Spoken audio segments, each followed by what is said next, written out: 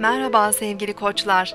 Çevrenizdeki kişilerle uyum içerisinde olacağınız bir gündesiniz. Sohbetler keyifli gerçekleşecektir.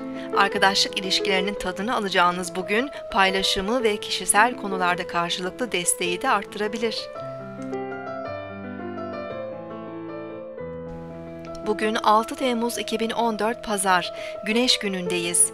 Terazi burcunda ilerleyen ay, işbirlikleri, denge ve uyum arayışını öne çıkarıyor. Sabah ve öğle saatlerinde kuzey düğümle birleşen ay, İkizler burcundaki Merkürle de üçgen açı yapacak. Sosyal ilişkiler daha rahat ilerleyebilir ve iletişim güçlenebilir. Geleceğimizle ilgili iş ve projelerde olumlu adımlar atabiliriz. Her türlü iletişim, eğitim, seyahat, toplantı, anlaşma ve ticari faaliyetler için olumlu destekler alabiliriz. Öğleden sonra 18.32'de Ay Jüpiter'le kare açı yapacak ve ardından boşluğa girecek.